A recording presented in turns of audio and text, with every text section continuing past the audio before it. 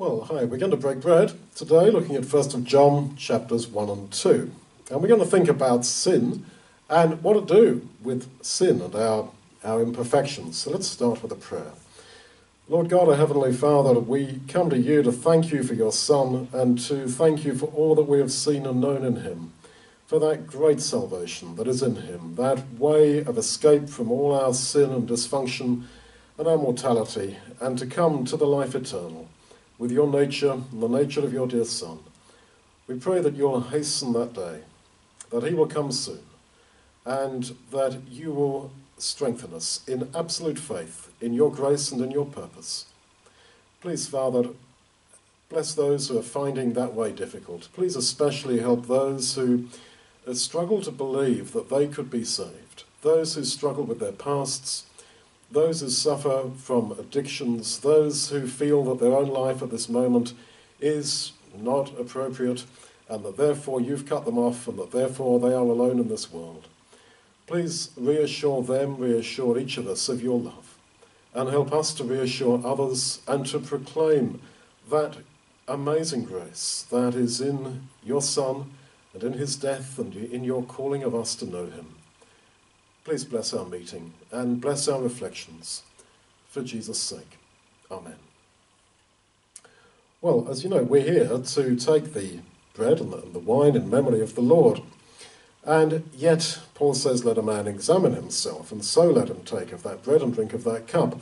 And naturally, the issue of my personal sin, historically, presently, it comes to us, doesn't it? Now, this is not a new situation. All God's children have had this problem various times. So John is writing to his converts, to those whom he has baptized. I suggest he's really writing to Jewish people whom he had baptized earlier, and now the years had gone by, they're starting to fall away a bit. They were maybe distant from him, and he was distant from them. They were tempted to go back to Judaism or to just go off to the world and to lose that fire that they once had. And so he, he starts off here by talking about the word of life. And he's talking about the Lord Jesus. And he said, This is what I preached to you. Uh, we declared this to you the life, the eternal life, which existed with the Father and was manifested to us. And what we've heard and seen, we declare to you, so that you may also have fellowship with us. Yes, and our fellowship is with the Father and with his Son Jesus. So he's writing to his spiritual children. You can figure that out later on in the letter. And yet he feels that their fellowship with each other was somehow lacking. And he's saying, look, we want to get together. And on what basis can we get ourselves together, although we're distant from each other, and although the years have passed maybe since he had met them, etc.?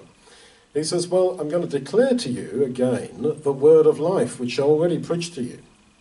And he's clearly talking about the Lord Jesus. Don't forget when John, in his gospel and his letters, talks about the Word, he usually has in mind not the Bible from Genesis to Revelation, but the Logos, God's purpose, particularly in Jesus. And he talks about Jesus here as the life. So he's saying, look, it's that life of Jesus, that spirit of life in him. It is that which brings us together both with God and with each other. And he says, These things we write to you, verse 4, that your joy may be full. Well, when he says that, he's surely connecting back to what Jesus had said, according to John's own gospel, written by inspiration, but all the same, in John 15 11, where Jesus says, I have spoken to you, I've said this to you, that your joy may be full. And now John says, I'm writing this to you that your joy may be full. So he's trying to remind them of Jesus. He is being as Jesus to them.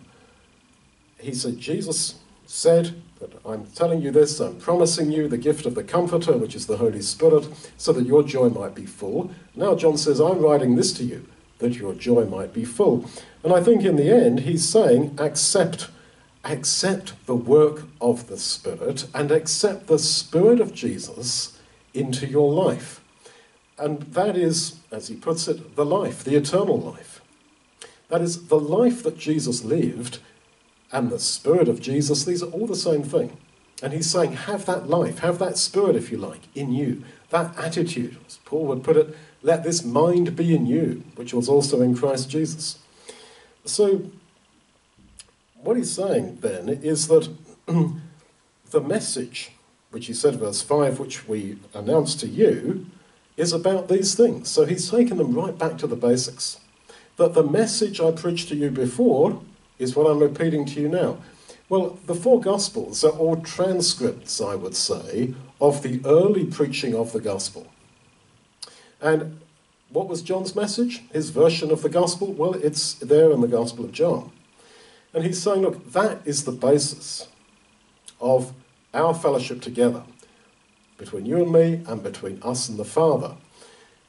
That is, if you want to know what is the Gospel, well, read the Gospels. Now, sure, they each have a different accent. John, I suggest, is preaching to Jews, and therefore his Gospel is very much geared uh, to a Jewish audience. So then, the basis of our fellowship is our connection with the Lord Jesus and having His Spirit in us, His life, His Spirit, call it His mind, call it what you want, in us, being spiritually minded. As Paul again says, if any man have not the Spirit of Christ, he's none of his. And that is true to observed reality. That you may, for example, be technically in fellowship with somebody, and you may sit in the same church hall as them week in, week out, but you're not really bonded like that. You may technically agree with each other on points of theology, but it's quite clear that that other person doesn't really have the Spirit of Christ. They are maybe religious, but not spiritual. You may meet somebody else who may differ with you in your understandings of some things in matters of academic interpretation. But clearly, that person has got the Spirit of Christ. And it is that that binds you together. If you have sold your soul, opened your heart, and said to God, I want to be like Jesus, fill me with his mind, with his spirit, with his life. Are all parallel terms, it seems to me. And then you meet someone else who's done the same. And your maximum effort, the, the desire of your heart, is to be like Jesus, to love him, to think like him, to be like him. And you meet someone else who's got that same passion, even though maybe you come from different backgrounds, you are united together. We have fellowship with one another. That's what he's saying. So he goes on to say that if we say we have fellowship with him but walk in the darkness, we lie and do not do the truth. Now, what is the light of the world? According to John's Gospel, it is Jesus personally. So we are to walk in the light of him. The world for us is illuminated by him. Now, it's easy to be so Bible centered that all you're thinking about is reading the Bible and interpreting the Bible correctly. As you know, if you know me, I've spent my life trying to do that, and I continue to try to do that, encouraging folks to read the Bible, get it right, interpret it right. But the Bible alone is not, in that sense, going to give you this walking in the light, because the light is specifically the Lord Jesus. To be a Christian is to follow him, to see the darkness of this world in his light, and to see that all else apart from him is darkness. So he says, if we walk in the darkness, we lie. So remember, he says, if you walk in the darkness, you lie. He uses this idea of lying quite often. And then he says, If we walk in the light, as he is in the light, we have fellowship one with another, and the blood of Jesus, his Son, cleanses us from all sin. So, walking in the light does not mean perfection. Because he says, if you walk in the light, then the blood of Jesus cleanses you from your sin. And I don't think that that means simply historically, that, okay, if you now walk in the light, God will forgive you for what you did back then. No, what you did back then is scribbled and forgiven. That, that's either true or not. That is scribbled and forgiven at the point you repented and were baptized, that's done with. So I don't think he's saying if you walk now in the light, then your historical sins are cleansed. That does violence to the, the, the, logic and the sense of the words, and the Greek tenses for that matter. The idea here is that if you walk in the light, then his blood, the blood of Jesus, cleanses you from all your sin that you now do. That you now do. That is to say, that walking in the light does not mean that I walk without sin. Romans 7, like it or not, Paul clearly states there that he is sinning, has sinned, and cannot find a way to stop, cannot find a way to come to actual perfection in this life. It is a fact true to observed reality and a simple fact of life that you and I will go to our grave planks imperfect. We will not reach a point of 100% moral perfection as you close your eyes in death for the last time. You won't get there. But you walk, walking in the light means that it's focused on Jesus with Him as the light of your life, still sinning, but that sin dealt with. That is what walking in the light is. Then he says, verse 8, if we say we have no sin, we deceive ourselves and the truth is not in us. Well, the truth is not in us. What does that mean? I don't think it means that if the, state, the statement of faith, your, your set of doctrinal propositions that you call the truth, if that's in you, um, then you will confess your sins. Not necessarily. You can know all that stuff, and yet it has no moral impact. And I'm sure we've met loads of people like that. So it can't mean that, because again, that is not true to observed reality.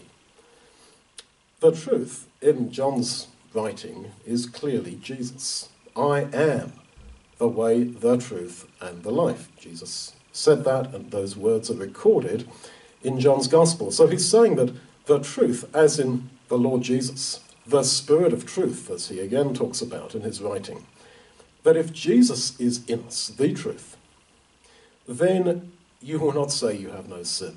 You will be convicted of your sin.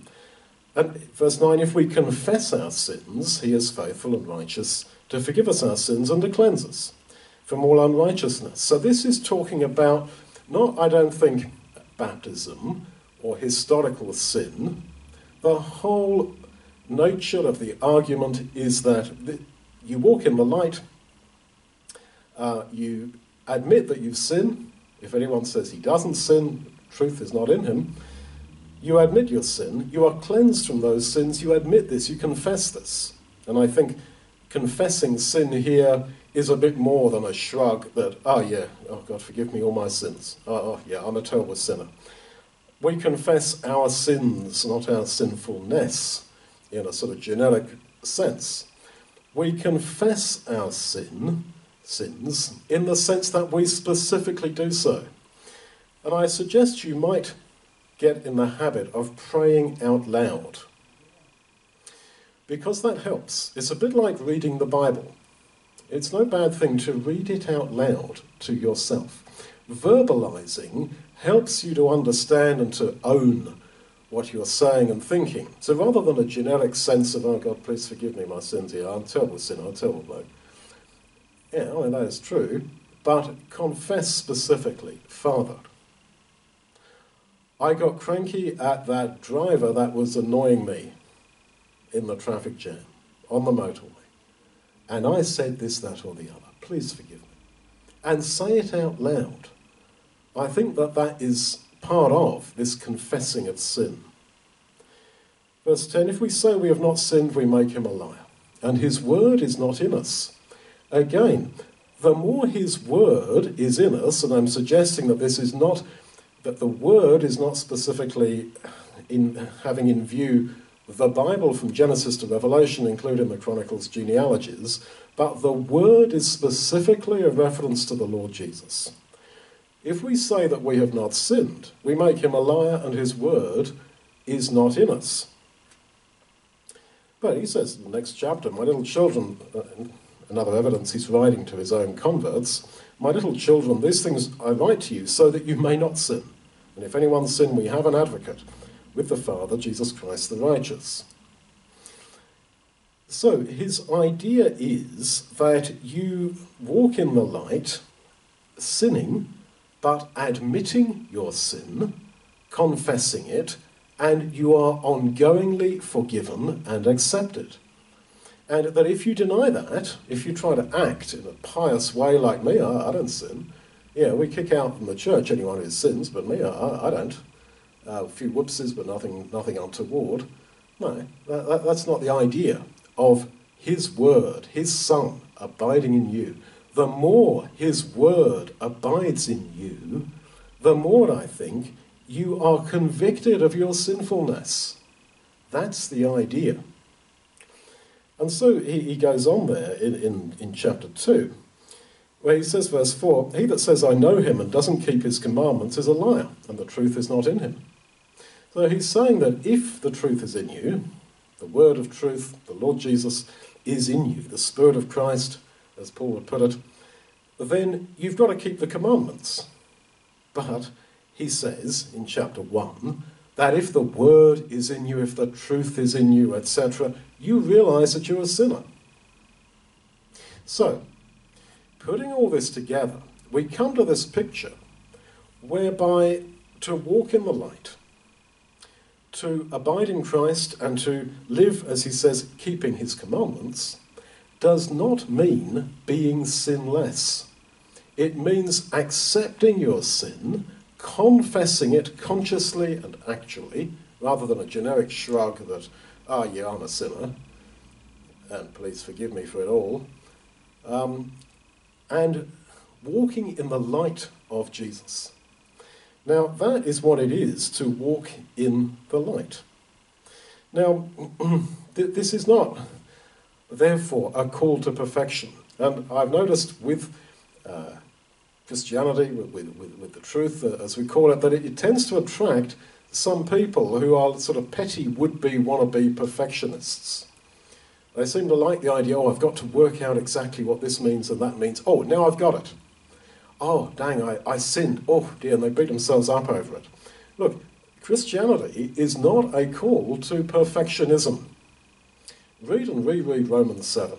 I mean, what Paul says there, people wriggle around it because they don't want to quite believe what he says, but he says there basically, God have mercy upon me, a sinner. When I want to do good, I end up doing evil. The good that I definitely want to do, I don't do, and the evil that I hate, I do. God have mercy on me, and thank God that He does have mercy on me. So, I'm standing here in the, in the soup kitchen in Riga, in the hall, where every day in the season when we do it, I do Bible study with folks five days a week, and then we feed them. And Sundays, having the meetings here again. And this hall is full of folks with various issues, typically alcoholism, street people, so on and so forth. And I give the talk, and I always say, I want to chat afterwards about baptism, please come up. And so often, just in this sort of two square meters, one square meter where I'm standing now, over 15 years or whatever, so many men and women have stood here and said, Duncan, I, I'd like to be baptized, but. And I've heard it so often that I can pretty well finish the sentence, but. It's usually an addiction, but alcohol, smoking, cigarettes, and drugs, it's mainly alcohol around here, that's the issue Occasionally, I can't forgive somebody or something in, in my past, but I would like to be baptized, I would like to believe, but. And then the weakness. Oh, I can't be because I'm you know, like I am. And yeah, I say to them, look, the Lord Jesus said that I'm a doctor and I came for the sick, not for those who think they have no need of repentance. He is the sinner's friend. And if we are in Christ, we are covered in his righteousness, and God actually likes you. God actually thinks you're great. He actually loves you. Now, what to do then with our sin and the fact that we sin and fail? Some people in the same old patterns with alcohol and so on. You've got an addiction, well, your failure is going to be according to a certain pattern those of us who are not alcoholics, we also sin and fail more or less according to broad patterns. And Paul says, you know, I, I can stop in, in that sense. Can't be perfect. Well, Does that mean that salvation is closed to us? Does that mean that we are therefore not okay with God, that God's mad with us? No. To love someone, to love somebody, does not mean that you only love them in a conditional way while they're good. And if you see any bad sides in them, oh, well, it's finished. If you've had children, you will know that that is how parents love children, because they are my children, not because they are perfect. And that love does not change when they misbehave. Now, when you, when you follow through this idea of walking in the light or walking with God in the Old Testament, it's very helpful because, again, it does not mean perfectionism. It means to walk in that path with the Lord. And, you know, David often talks, uh, especially in Psalm 119, of how he walks in the light. Your word is a, a light to my path and a lamp to my feet. Uh, yeah, and he says, I'm walking uh, in the way of your commandments. But in that same psalm, he says things like, I'm a lost sheep that's gone astray. I sin. I'm ashamed of how often I sin. I love your word, but I keep sinning.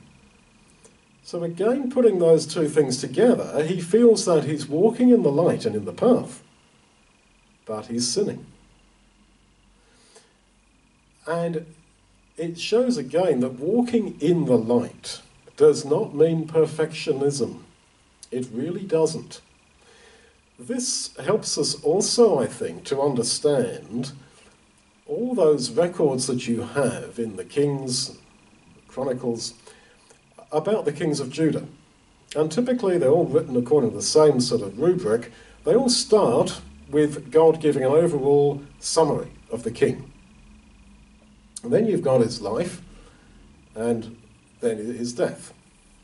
So some of those kings, thinking of Asa, Jehoshaphat, and a few others like that, you, you start off reading it, and it says that, yeah, so and so began to reign when he was such and such uh, age, or whatever, and he reigned so many years and he died, and he did that which was right in the eyes of the Lord, or he walked in the ways of the Lord. But then you read his biography, and it's quite clear the guy sinned, and in some of those cases, he died, he died at a weak moment. You take Asa, he died uh, from a disease, and it says, and in his disease he did not seek to the Lord, to Yahweh, but to physicians probably witch doctors. But he gets a good overall write up. Now, I know against that you've got to factor what Ezekiel says that if a man is good all his life and messes up at the end, then he's, uh, he's not going to be saved. But I, again, I don't think that that refers to an occasional failure. It's talking about somebody who says, I don't want anything to do with the way of God. I went the way of God all, all my life. I don't want it now. I want to go the, the, way of idols. I want to go some other way. Uh, anything to do with all that God stuff. Don't, don't give it to me. Yeah, in that sense, yes. That's, I think, what Ezekiel's saying. So, looking at those records of some of the kings of Judah, again, you've got to explain really what John is saying here. That to walk with God does not mean perfectionism. And it doesn't necessarily mean that at the very end of your life you're perfect either. You might mess up on your deathbed. But God sees the general thrust of your life. And is that not also how, in reality, we end up assessing people? I don't say judging, but it's part of life to assess people's behaviour, especially in family life or whatever. Uh, somebody is in a certain path, they are a certain type of person, but occasionally they act out of character. And so they do. And that is true of all of us. We are mature enough to see that. Other people may not be. They only focus on the awful sin or mistake that was made in the heat of a moment. But we who know that person say, oh, yeah, sure, it happened. But look, the general thrust of the life was like this. How much more is the God of all grace going to look at his children like that? Now, there's a number of characters in the Bible whose last words are recorded. And I give you three examples of people whose last end was not really perfect. Start with Samson. Hebrews 11 says he's going to be in the kingdom. Well, his last words were as he pushed the pillars of the temple over to kill himself and the Philistines, he said, May I be avenged on the Philistines for the sake of my two eyes. They'd burnt his eyes out, made him blind. Well, his last breath was wanting vengeance on his enemies. It was a suicide wish, and he wanted vengeance on his enemies because of that, that they put his eyes out, despite the fact he'd misused his eyes in lust, as we know, for Philistine women and so on. You could say that that was not, to put it mildly, a very mature ending. Not at all. But okay, that's how he ended, but he's still going to be saved. Jacob. End of his life, gets his sons together, and he says, Look, uh, now, about Shechem, which I took out of the hand of the Amorite by my sword and by my bow, I give it to you. Amen. Psalms say specifically God gave them the land in inheritance not by their sword and not by their bow, alluding, surely, to the words of Jacob when he says, I got my inheritance by my sword and by my bow. He lifts his feet up into the bed and dies. Well, he didn't get it, did he? He did not quite get it. He didn't understand grace. He was still trusting in himself, in his own strength, his own sword, and his own bow, right at the end, and boasting about it he'll still be in the kingdom. Third example is David, King David. You remember when he was running away from Absalom, Shimei comes out and curses him. And he says, Oh, yeah, I deserve this cursing. And Shimei starts stoning him with stones. And he, that's a punishment for an adulterer. And he's like, Yeah, well, I deserve this. When he comes back, when Absalom's dead, Shimei comes creeping and crawling to David and says, Oh, will you please forgive me? David said, Yeah, sure. It's scribbled, it's done. Yeah, I forgive you. You're good. When he's on his deathbed, he says to his son Solomon, Look, Solomon, remember Shimei? Yes, Dad. Bring down his white hair to the grave with red blood on it. Yes, Dad. And then David dies. Well, he didn't keep grace to the end, did he? I'd have thought if you're on your deathbed, well, you're thinking about God's grace. Especially, well, I was going to say, especially David with a whole heap of sins behind him, but I mean, that's true of all of us. We all got a whole heap of sins. And on your deathbed, I'd have thought, you're like, oh, God, forgive me, forgive everybody, forgive anyone who's done anything wrong to me, I forgive them, please forgive me. But David is like, hey, remember Shimei? Remember he cussed me that day? Well, I forgave him and I let him off. And I promised him that he'd be good, he'd be all right with me. But you, Solly, you, you know his white hair? I so hate him. I want to see his blood on his own white hair and his face dead in the ground. So you see, that is the problem. That's the difficulty. And we've got to make sure that we're not like that. But all the same, we are. My point is, we die imperfect. We die imperfect. So, summing up, we are saved because of our relationship with God and with the Lord Jesus. And the blood of his Son cleanses us, cleanses us from all sin. That's the point. That we are cleansed from our sin because of him. So it's quite right that we we celebrate that through the, the bread and the wine as, he, uh, as he's asked us to. Because what a great salvation. But perfection is not demanded of me. And the fact it's not demanded makes me even stronger, want to not sin. You see, this is why John says, when he's talking about all these things, he says, I've written this to you so that you don't sin. I've written this to you that, yeah, sure, walking in the light means continuing to sin but confessing your sin and having it forgiven. I've written that to you so that you don't sin. Because no normal person with a living relationship with God and Jesus would shrug and say, Oh, great, I can carry on sinning then. No, that's not a normal response. The response is, Oh, thank you. I love you. I want to do better. Let's thank Him.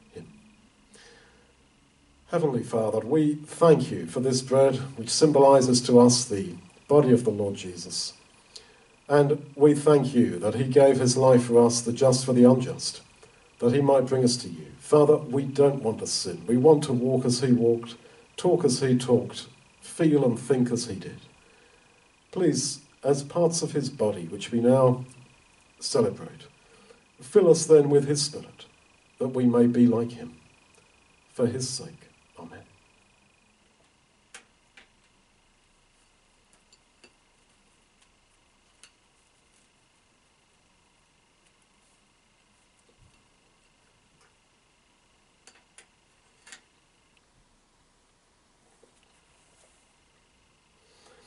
Well, we've reflected how the blood of the Lord Jesus cleanses us from all our sin. Even though we walk in the light, we walk in Christ, and He abides in us, we still sin. But His blood is the propitiation for our sins. Heavenly Father, we thank you so much for your foresight and for your amazing love in giving us this way, in not demanding perfection from us and in opening up the way for your dear Son to die, so that his blood might cleanse us from our sin. Father, you wrote to us through your servant John that you've written these things to us so that we might not sin. And faced with this great forgiveness of yours, this great cleansing, we do not want to sin. Strengthen us then. Help us, empower us to overcome temptation and to give our lives and hearts completely to you for Jesus' sake.